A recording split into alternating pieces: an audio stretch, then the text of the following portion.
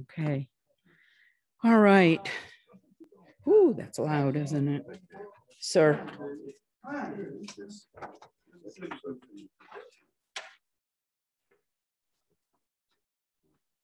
That's, is that one hundred? Yeah, that, yeah. Thank you, everybody. Um, I appreciate everybody making the effort. I know it's late and everybody's ready to move on home. So let's, let's start with Senate Bill one hundred. Um, Chairman Cantrell, if you would like to. Thank you.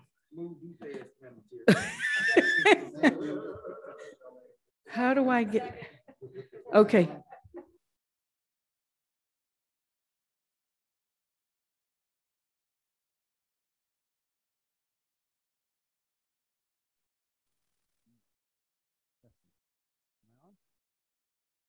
I don't, okay, I am on. All right, I'll be extremely brief. Um, I will make one comment.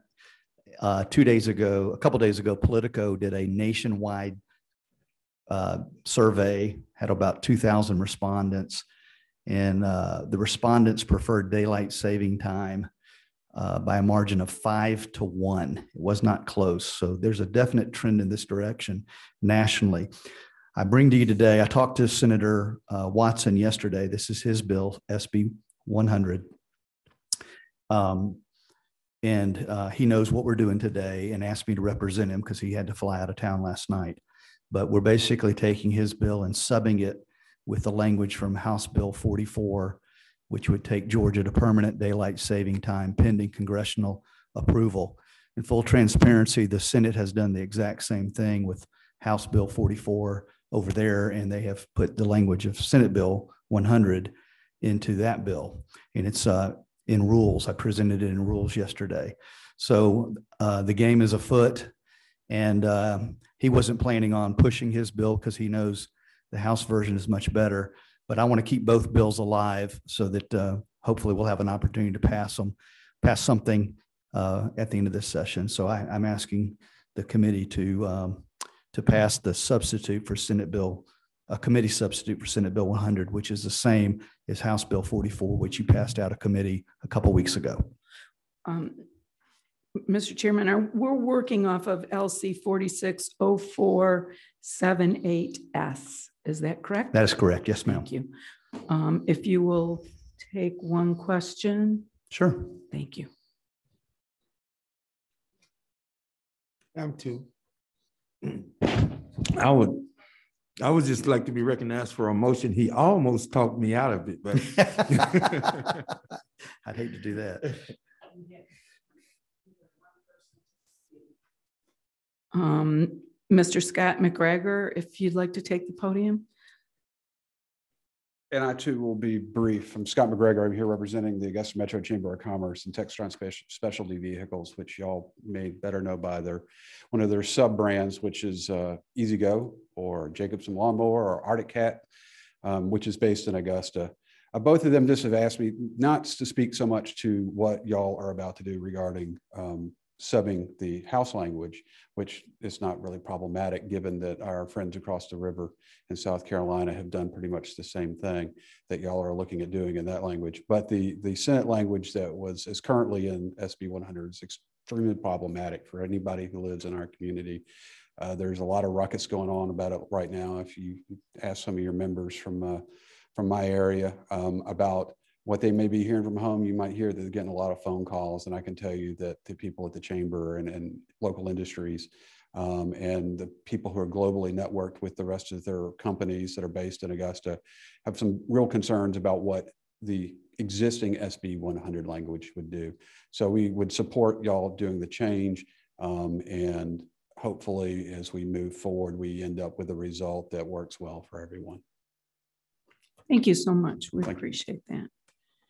At this time, I will entertain Representative Duke's motion to do pass by committee as substitute and a second by Representative Camp. All those in favor say aye. Aye.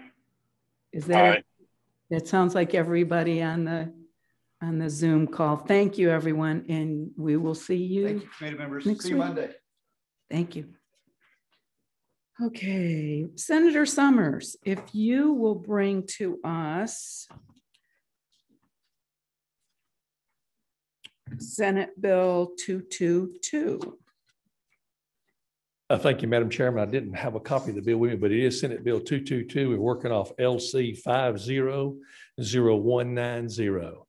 And thank you for allowing us to get on the docket today. I'm sorry about the short notice and getting back to you, and I apologize. But anyway, this is a simple bill. The Georgia Pecan Growers Association have been trying to get Georgia to have a state nut for a long time. And I had several over in the Senate. I could have used their names, but I just, uh, you know, we, we've stuck with the pecan. I just want to let you all know that. So the bottom line of it is, is the Pecan Grower Association. And down in my area in South Georgia, which starts, my Senate district is, is as big as the greater metropolitan Atlanta. I got nine counties, about 350, 400 miles around my district. So it's, it's quite huge, but we are, pecans are being planted I, I, don't know how many thousands of acres, and Representative Noel Williams can probably attest to it. It is, it is quite the pecan area in South Georgia, and Georgia is number one in pecan production, and we need a state nut. And that's, you know, they want the pecan to be designated and I'd appreciate the, you know, favorability of the uh, uh, panel here to move it forward, if you don't mind, Madam. Thank you. Um, who's number one? Oh, Representative Camp. Hi, mm-hmm. Senator Summers. Thank you so much. And thank you, Madam Chair, for allowing me to ask this question. Growing up in Dublin, Georgia, which is middle Georgia, we did not call them pecans. So I just wanted to clarify, some people in the state refer to them as pecans, correct? Well, you're exactly right. And, and, Thank and you. I- I've asked the definition on many different cases. Now, now, the Chairman Mullis would call it a pecan. I said, well, that is with two E's, so you bet better do that by yourself. But we, we go with the pecans, say the ones that you sell, and pecans are the one that we eat. So that's, that's how we sort of classify it. But thank you, Mel. Thank you. I know. I'm not touching it. I know, I'm Leaving it alone. I- I- Um, at this time, I'll entertain a Yes, ma'am. motion.